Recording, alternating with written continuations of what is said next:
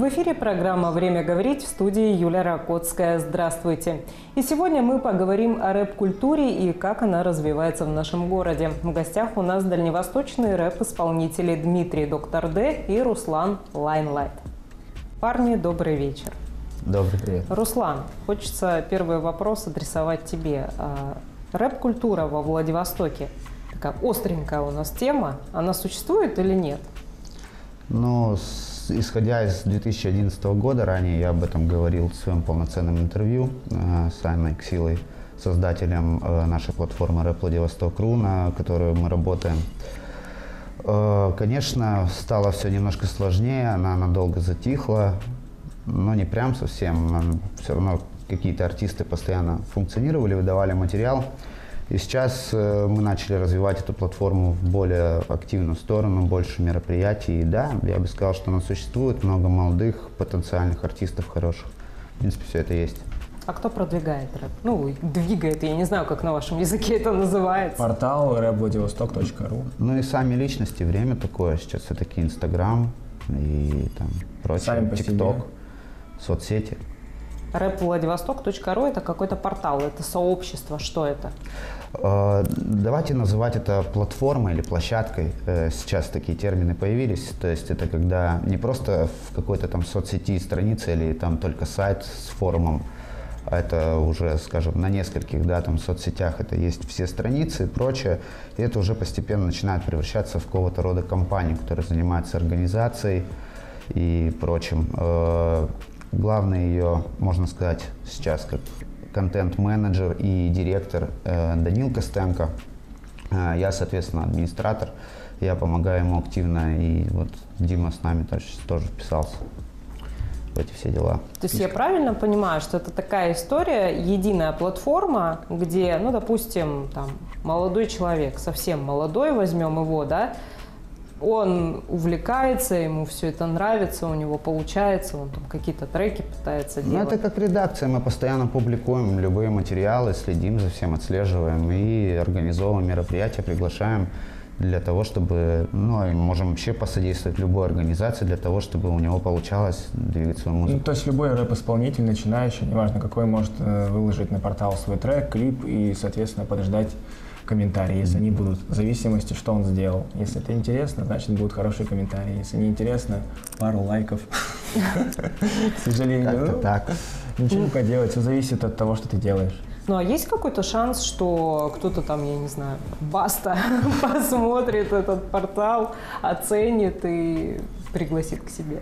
Шансы есть всегда, это же интернет, э, но мы все-таки работаем как региональная, скажем, дальневосточная да, платформа, и нам в этом, конечно, плане сложнее, э, потому что сейчас такое время, что если ты хочешь как продюсер вложиться в артиста, в какое-то конкретное имя, сейчас все-таки все делают личности и имена, то необходимо брать этого артиста, вести в Москву, там где-то э, скажем, его расподраскрутить и оттуда вести его назад сюда, через всю страну, дав ему полностью рекламу через всю страну. Вот так. Ну, то есть, грубо говоря, чтобы он там засветился, даже не важно, чтобы он там вышел на какой-то Нет, там уровень. просто лидирующие компании, к которым можно э, обратиться, проплатить финансовые средства для того, чтобы его крутануть, дать рекламу мощную и прочее. Чтобы о нем услышали и начали на него внимание обращать, слушать его треки, творчество смотреть, следить за ним. Потому что сейчас много артистов, и как бы надо внимание чем-то привлекать. Слушайте, ну мне вот что интересно. С московскими исполнителями, ну там в принципе все понятно. Это центр, да, это мегаполис, там другие деньги, там другие возможности. Что с нашими дальневосточными исполнителями и нашим дальневосточным рэпом? Какие-то проблемы он испытывает? Конечно.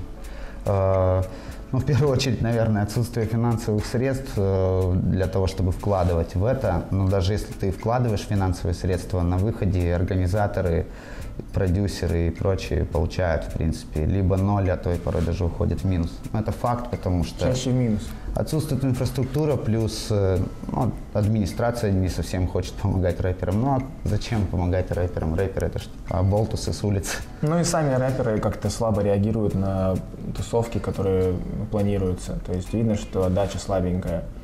Не знаю почему. Может быть, потому что они хотят сразу какие-то финансы получить, наверное, не знаю, за участие просто. Да, то есть сразу хотят, чтобы все было и сразу. Чтобы все было не сразу, было. чтобы был хороший пиар, чтобы их узнали там, не знаю, в Москве, наверное, сразу увидели.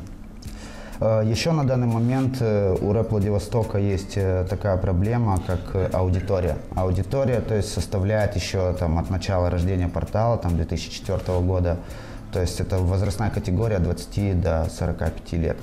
Mm. Ну, конечно, 45, но есть такие, это, их очень мало, но тем не менее есть. Э, нам нужно больше привлекать молодых людей, а молодые люди не хотят. Простыми словами, рэперы выросли.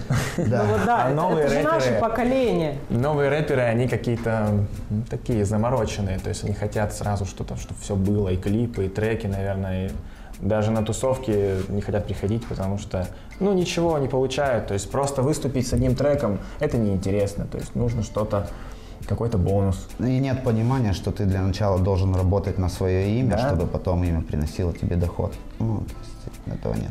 Ну, мне вообще так тоже все это интересно слушать. Вот наше поколение, оно выросло на рэпе. Мне кажется, как бы нам родители там не прививали ну, классику, еще что-нибудь, да, а мы как раз то поколение, которое слушало рэп во все колонки, колонки эти выставлялись там в открытые окна. Я хорошо помню, как мы там с подружкой, как мне родители дарили э, кассету Алсу, а я с подругой шла и покупала, нет, точнее, диск Алсу, а я с подружкой шла и покупала какую-то не супер хорошего качества кассету «Русский рэп», ненормативная Потому что лексика. когда это была субкультура, и да, она только начинала ну, как, Возможно, еще... свое развитие, сейчас, да, идем да, договорить, вот, э, так же, как э, в, в Ленинграде, да, в Питере рок в свое время, да. там, в 80-х да, да, да. годах, она была субкультура, а сейчас э, рэп есть везде, большой объем информации, поэтому, поэтому сейчас сложнее артисту в каком-то плане.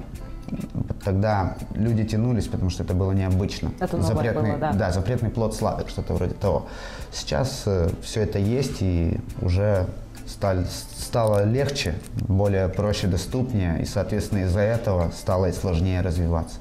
Слишком много, большой поток информации. Дим. Ну, возможно, мне кажется, еще это был, как бы, это были 90-е, когда власть поменялась, было что сказать, как бы вот выразить свой протест власти, может быть, еще вот это вот повлияло. А сейчас как бы все хорошо, то есть у людей есть iPhone. Ну да, устоялось. То есть э, можно взять кредит. Не, ну, кстати, это был один из моих вопросов, правда, гораздо дальше, но спрошу сейчас. А рэп, да, ты уже проговорил, что раньше он был таком, таким политическим инструментом своего рода для ну, молодого да, поколения, наверное. Сейчас это так или нет? На самом деле рэп разнообразный, и жанры тоже разнообразные. Мне кажется, в зависимости, как подавать и насколько артист э, оригинальный. То есть, может быть, он не обладает там какой-то читкой, панчами, но он делает оригинально, и это интересно. Потому что сейчас, возможно, не все дослушают трек до конца, какие-то панчи поищут. Ну, панчи это интересные, да, самые такие острые фразы, как бы слова, то есть, ну, чтобы люди понимали. Да, ты переводи по ходу нашего ну, интервью. Может, можешь перевести. Да, то есть самые такие, э, как бы, за душу берущие слова. Метафора. Метафора, да. И э, иногда сейчас многие, мне кажется, не слушают слова. Не будем говорить этих артистов, рекламировать, ну, кто делает да, но им нравится просто ритм, нравится музыка, нравится минусовка, все, значит хорошо, значит буду слушать. А если там нету начинки, нету какой-то, не знаю, текстовой составляющей грамотной, это никого не волнует. Да и это есть Может на быть. самом деле. Ты можешь подать хоть что. Ну, можешь да. подать правду, можешь подать э, улицу, можешь подать э, моду, цепи, классно, тачки, все это и то, и то ну, может, оригинально. может быть классно. Главное, главное то, как ты предоставишь это и время портретов.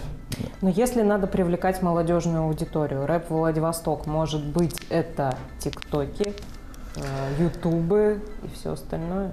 Ну, конечно же, приобщаем, э, но вообще во Владивостоке, насколько мы проанализировали полностью все, ТикТок это скорее больше, наверное, подходит там, для блогеров или для каких-то там конкретных. То есть вот берется личность, ну, он продвигает. Мне кажется, как может больше. площадка это двигать? Инстаграм здесь э, самая активная соцсеть, э, поэтому там вести лучше всего, удобнее в нашу платформу. То есть там набирать активность, да и в принципе так везде сейчас. Посмотрите, где вы найдете в Ютубе действительно хороший, э, во Владивостоке хороший YouTube канал. Но есть хоть один? Ну, наверное, нет. Вот, видите, то есть Ну, на- наш канал. Дело в том, что здесь еще- даже не раскачивают элементарный YouTube канал, чтобы его монетизировать. То есть и тол- только максимум, что ты можешь монетизировать, это мероприятие и ну, Инстаграм. Если, и то, если ты сам стрельнешь, если у тебя будет классный контент. И ты сам будешь классный. И, наверное, на YouTube там есть тренды. Даже если ты сделал интересный клип, чтобы он попал в тренды, его многие посмотрели, я не знаю, как это нужно его как-то форсить, везде распространять, чтобы он попал в тренды. Потому что YouTube, он, наверное, тоже странный. Да, реклама рекламе Реклама, тоже рознь. да. То есть тут нужно, в общем, нужно вкладывать денежку, чтобы... А денег у рэпа нет. Ну, по большому счету, да. Ну да. По-честному, да, нет. Ну, то есть, к- к- как любой художник, беден, Да. но талантлив. Поэт должен быть голодным, Да. но только в начале. Голодный поэт по жизни – это печально, смог ему. А. Вот Я. так. А, рэп – это какая музыка? Это про что? Оу, Ну давай ты скажи. серьезный вопрос. Рэп. Но изначально, да, вот сейчас как раз для... Ну, для так, кстати, давай так. Рэп – это музыка или это текст? Ну, здесь скорее пять составляющих, это все. То есть это музыка, 70% успеха твоей композиции, э, текст, и к нему есть э, такой термин flow, то есть э, подача. Подача, да. То, как ты Исполнение. этот текст изобразишь. Если э, эти два составляющих прилегают плотно к музыке, ты уже вот сделал почти на 90%. Остается все закрепить качеством материала, то есть записать его на хорошей студии, довести его до ума, может быть, снять клип или что-то еще. То есть довести контент до ума и распространить его правильно. Даже ты можешь, э, не пользуясь рекламой, но выкладкой правильно постов дойти до успеха. И последнее, конечно, пятое, закрепить своим портретом доказать, что это принадлежит действительно тебе, и что ты такой и есть, как ты говоришь в своих песнях. Да, если шанс того, что ты сделаешь хороший трек, но при этом вот не сделаешь то, что сказал Руслан, то есть по порядку, ну, это очень мало шансов, что ты стрельнешь прям хорошим треком, и он взорвет. То есть если даже ты очень талантливый, но ты никому не покажешь свой трек, там как-то, ну, не знаю, выложишь его в какой-то какую-нибудь сеть такую, которую там никто не заходит, не читает, ну, в общем, ничего не будет Ничего этого. не получится. Нет. То есть нужно двигать, вкладываться, просить репосты, наверное. Да, это как товар, еще уметь надо это продать.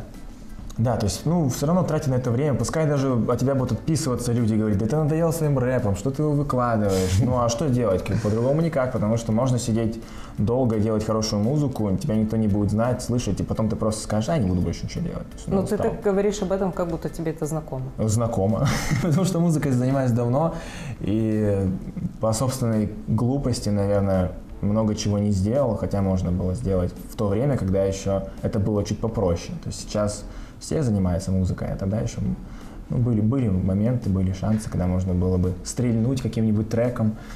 Ну, качество не дотянуло. Ну, Руслан тоже знает. Я с 98-го бросить, наверное, это хотел как наркотик, наверное, Да. раз сто. И нет, нет. Дима, ты? Сколько у тебя? Послужной список. Я записываю треки с 2007 года.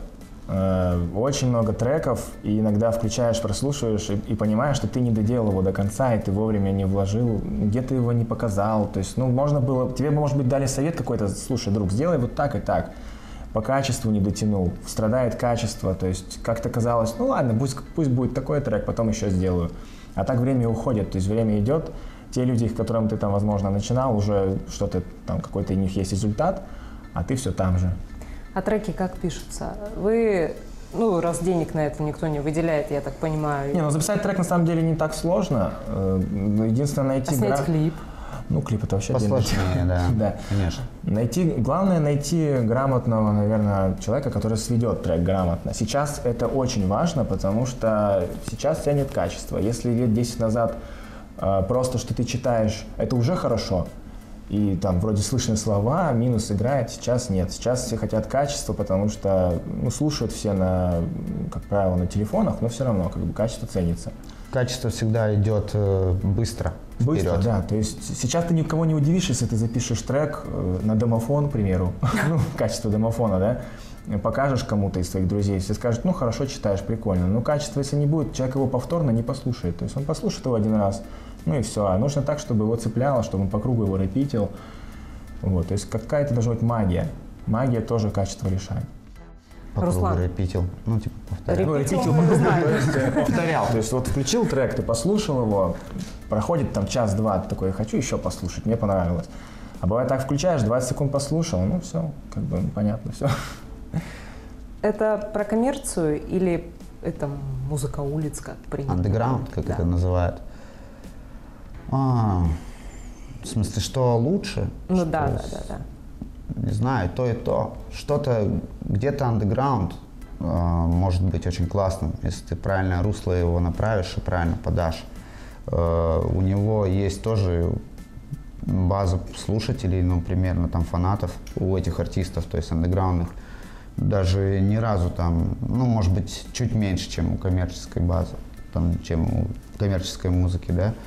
Но суть, в принципе, так же. В доходе так же ты все равно дело артиста, именно артиста. Ну, коммерция, наверное, это больше, Личность. мне кажется, к попсе относится. Почему? Потому что коммерция, э, ну, здесь, наверное, смотрит на самого артиста, как он выглядит, вот как он, какой он в клипах, вот, кстати, да, по части клипов. Если андеграунд, то многие, наверное, даже клипов не видят, просто трек заходит, и они его слушают. Но это, опять же, все вот относится, наверное, к олдскульному рэпу 90-е, 2000-е. Многие, кстати, клипы сейчас, если включить на YouTube, те треки, которые стреляли, до сих пор их можно послушать. Там клипы такие смешные. Ну, а Да, вспомни, да. вспомни Бабангиду, там Да, даже фотографии его фотографии никто не видел. Никто не видел, то есть не совпадает Лица. видеоряд в видеоклипе. Ну, ну, ты просто смотришь, ты понимаешь, что это крутой трек, и тебе уже все равно. То есть ты не смотришь на, на видео. Да и даже абсурдность этой Да, да, картинки, да. она Для создает времен. эффект. Создает Для эффект. тех времен это Да, ну, интересно. сейчас есть такие подобного рода андеграундные клипы, где делают все специально. Под старину. Э, да, не то, что под старину, это по-новому. Да. Это грязно, это прям абсолютно специально, некачественно. А даже качественно, но специально грязнят, как будто это вообще там старая песня 80-х. Даже делают до такой степени, и это круто, типа. Слушайте, а, но сейчас, я имею в виду таких наших там западных рэп-исполнителей, которые при именах, при лейблах, да, а, рэп так оккультуривается, я бы сказала. То есть появляются какие-то там, ну, не знаю, там совместные с какими-то классическими исполнителями, с Ну, фиты, поп-исполнителями. фиты сами- да, да, да, да. Это модно, это классно, нет? Как это? Конечно, это... Ну, это жанр, опять же, какой-то определенный. То есть не, не только там один рэп, допустим, а что-то могут совместить, все правильно. То есть Многие классику. не, многие не могут понять такую вещь, что тренд – это когда ты создаешь что-то новое. Ну, действуешь, это может стать трендом в любую минуту. Ты просто никогда не знаешь, станет ли это трендом или нет. Что ты создашь новое, и при этом ты все равно уже сделал что-то старое, ну, то есть по-новому. А, То, что сейчас происходит, а, я думаю, это больше зависит от развития э, молодежи. То есть, если мы больше проводили время на улицах, то у нас музыка была более уличная, она остается более уличной. А сейчас что? Сейчас что может в подросток? Подросток сидит, да, в школьное время, там, да, то есть он пришел домой, в соцсети забежал, там, в Инстаграм, потом в игры забежал. Ну что он, что он может об улице написать? Ничего. Вот, о том и речь. Ну, а, кстати, лейбл, это слово я не люблю, оно мне сложно дается для произношения. Оно играет какую-то роль? Конечно. эм, с- Ну, тут, как сказать, тут две стороны медали. Давай я кратенько скажу, потом скажешь лейбл. вопрос. То есть, если артист уверен в себе, что он сто процентов стрельнет, сделает крутой трек, и там через месяц он будет в Москве, фитовать, не будем говорить там с кем, ну, с таким крутым исполнителем, то он должен все знать сам. Как сводить трек, как его отправлять на десятилетие. Фитовать — это совместное ну, да, делать совместный трек. Как э, делать трек грамотно, как его сводить, э, как его подавать, то есть как делать дистрибьюцию, чтобы он зашел на все площадки, ну, то есть чтобы все могли послушать его. Сейчас никто не будет треки скачивать с телефона, все скажут, где его послушать, ты скажешь, там, на, на любой площадке. Вот, то есть если это все знает человек, то, пожалуйста, он может стрельнуть. Но если он этого не знает, он потратит кучу времени, пройдет 10 лет, он перестанет заниматься музыкой, хотя он мог, возможно, что-то сделать. Ну, а про лейбл, Ну да, я лучше посерьезнее на Да. этом плане отвечу, что э, артист может крутить себя сам. да. Э, артист может делать музыку полноценно сам, двигаться по студиям, снимать клипы, обращаться к крутым операторам, вкладывать в это финансовые средства. Единственное, останется самый сложный момент э, пиар и менеджмент. Да. С этим, конечно же, компания будет активнее помогать, но компания тебе поставит условия, э, и ты должен будешь работать на этих условиях. Там вопрос в том, то, что ты можешь потерять свою личность. Но мне вообще кажется, что выход из лейбла, да, в какой-то мере, ну это прям, ну, Ну, Black Star, да, Black яркий Star, пример. L1. Не, может быть, в этом Ну, есть тут плюс. далеко ходить, да. какой-то, опять же, люди начинают... «О, Смотря что ты, что ты исполнитель». ищешь, что, Да. какую ты видишь свою миссию. Это у тебя внутри, и ты уже думаешь, нужно ли оно тебе или нет. Хочешь ли ты работать на компанию? Компания будет требовать от тебя хиты, компания вот как раз будет требовать от тебя актуальные тренды и прочее, м, попсовый материал, чтобы это заходило всем людям, а ты хочешь там рассказать о есть- своей внутренней боли. И тут ты теряешь это, э, теряешь свою личность. Э, Но ты зарабатываешь деньги, компания тебе этому активно помогает. Сиди дальше, говори о своей боли, но вкладывай финансы в то, чтобы твоя, твоя боль крутилась у всех в ушах. Ну, то есть может быть такой момент, что ты сделаешь трек, тебе он понравится, ты покажешь это своему лейблу, он скажет, давай поменяем припев, сделаем его вот так. Он Или- будет более попсовый, возможно, но тебе это уже не понравится, и как бы это уже будет не то, то есть ну, поменяли трек в целом уже не так. Хотя, возможно, он будет лучше там стрелять, я имею в виду, на площадках. Не, но есть и лейблы, которые Ну, да. дают свободу артисту. Свободу. Э, Яркий пример тому скриптонин Газголд. То есть, когда он попал на Газголдер, он рассказывал, Баста рассказывал, что да я ему даю полную свободу, пускай занимается, делает, я просто знаю, что он сделает круто.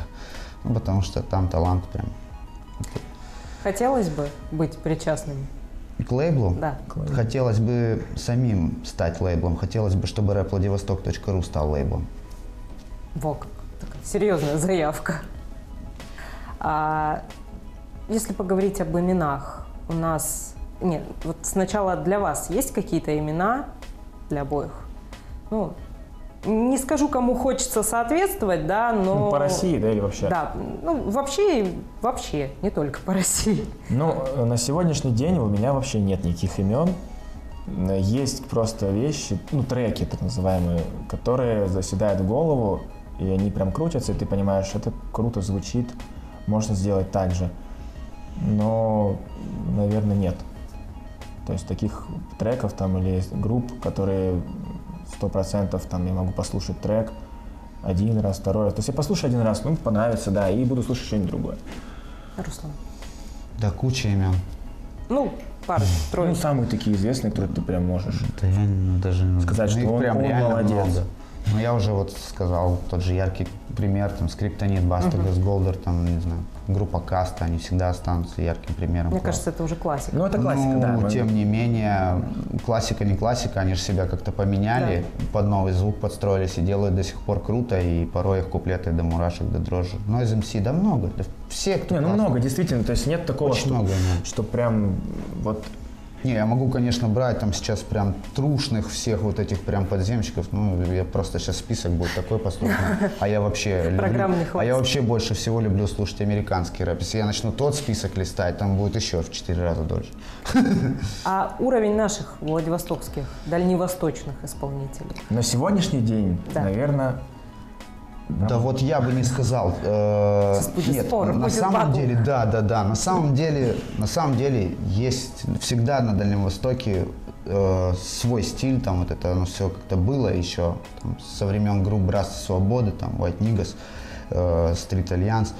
И здесь это до сих пор есть. Э, И есть хорошие имена, реально сильные. Э, Многих из них не слышат, э, многих уже слышат, но тогда он уже как-то удаляется, что ли, от э, владивостокской именно культуры и дальневосточной культуры.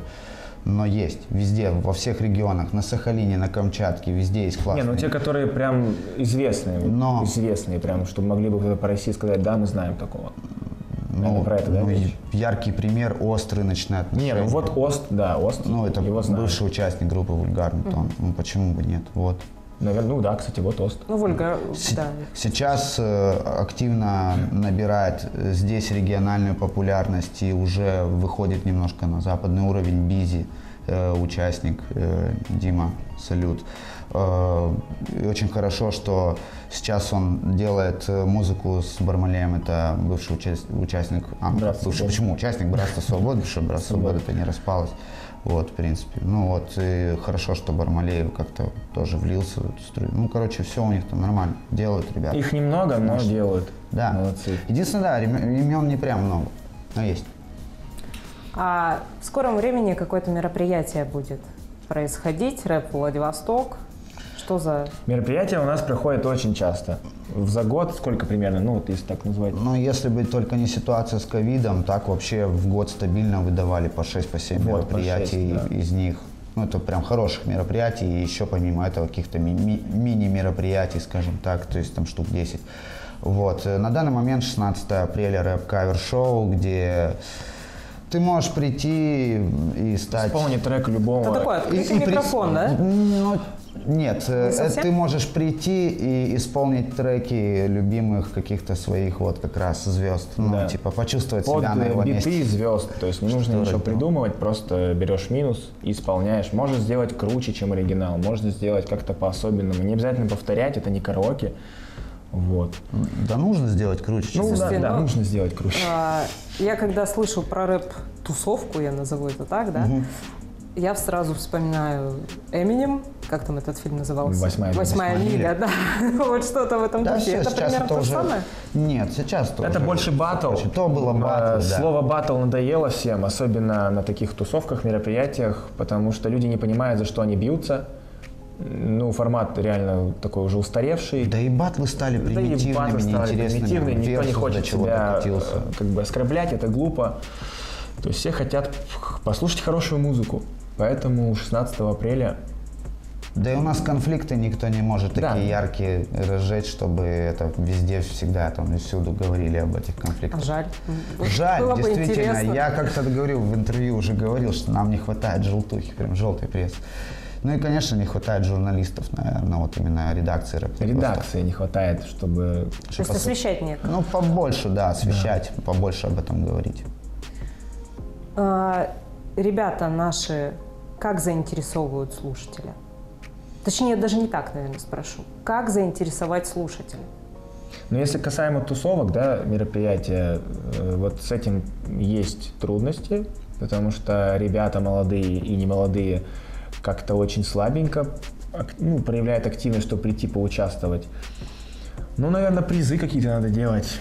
Призы, наверное, такие, похоже, ну, снять клип, вот, допустим. Первое место снять клип. Может быть, кто-то и пошел бы, действительно, но это непросто. Ну, это серьезных денег будет. Это не то, что денег. Это- Рэперы-то, они творческие люди, они могут как бы придумать такой клип, что видеографы просто не смогут такое сделать. Вообще, в наше время, мне кажется, стало все в этом плане сложнее только потому, что э, вот как раз люди с появлением таки- такого большого потока информации просто разучились читать. Ну, им еще и некогда. Там многие работают все время там, до потери пульса по 16 часов, там, чтобы заработать какие-то кровные деньги, там, отбить кредит и прочее.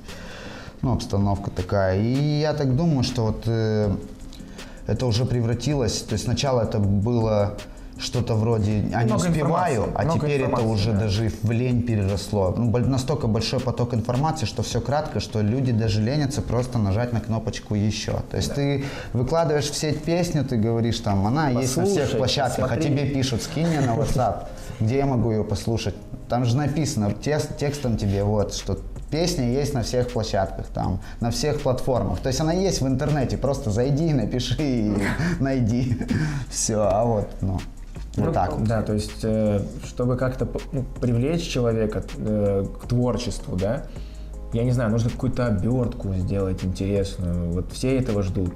Если раньше был портал, да, форум один единый, были телефоны, но они были такие все скромные, что только смс-ками все общались. И чтобы нужно ну, получить информацию, нужно было прийти домой, включить компьютер, зайти на форум revvladivostok.ru, почитать информацию, узнать, что будет мероприятие, и сходить на него. Сейчас все поним... ну, быстро получают информацию, и, наверное, вот как-то разбалованные стали. То есть, ну, не знаю, может, не пойду, может, пойду. Вот, 16 числа. 16, 16 апреля. апреля, да. 16 апреля бар «Маяк», Рэп-кавер. рэп-кавер-шоу. Приходи, участвуй. Приходи участвовать. Сделай круче, чем Сделай оригинал. круче, чем оригинал. Да. последний вопрос хочу задать. Э, не знаю, то есть мы говорим о привлечении там, молодежь, да, еще чего-то. Как вообще люди сегодня реагируют на рэперов? Ну, я просто помню, что когда я я как и слушала его там 20 лет назад, так и сейчас, наверное, да. Дальневосточный рэп слушала? И дальневосточный ну, тоже. Родители хватались за сердце, да, там учителя падали в обморок с учетом того, что я в гимназии училась. Ну, это же ни о чем не говорит, правильно? Дима врач. Руслан, да. ты чем занимаешься? Я ну, в море хожу, там, да, разные работы. Много. Рэпер, наверное, сейчас это клеймо. И на самом деле многие отходят от этого слова рэпер. Слава богу, что отходят. Есть сейчас поговорка такая, куда ни плюнь, в рэпера попадешь.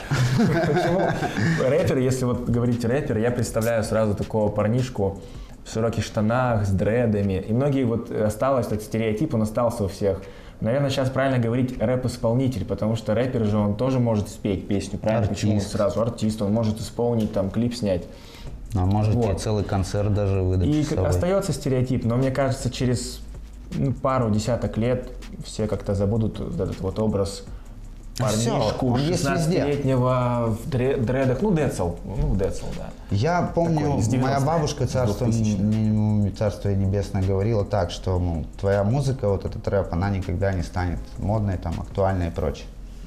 Э, в итоге Дрейк побил рекорды Майкла Джексона, Мадонны, везде там, в билбордах и Spotify. Eminem побил все рекорды. В итоге рэп есть везде, в любой музыке, ну, вот именно в любом жанре берешь сколько, современных, сколько уже исполняет треков? Берешь современных Лет. артистов, ты смотришь, их называют рэперами, а они на самом деле в голове вообще панки. То есть, ну, на самом деле, да. А вот это вот все, смешались все субкультуры. То есть, Нет, ну, жанр просто разный. Все смешалось он меняется, это нормально. Он есть, растет, да, плюс развивается. битрейт сейчас читает уже не под 70 BPM, как раньше. Ну, стук, стук. Почему? Ну, сейчас ну, читают, кажется, читает, но, но по-другому. Как-то по-другому, да. То есть это все равно все интересно. Он шагает прям такими шагами. А, он постоянно развивается. Развивается. Что будет через 10 лет, не знаем. Ты ложишься спать, э, там вчера был, вот лег спать, да, вчера был трэп, э, проснулся, Модный, да. сегодня уже дрил. Так что такое?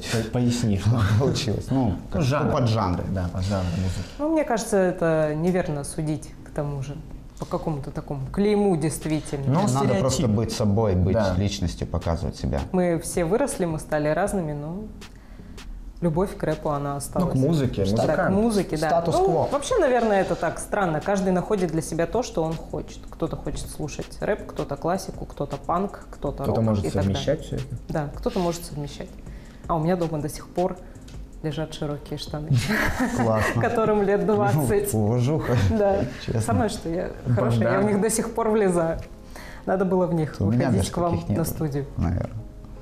Ребят, Мне кажется, у тебя есть.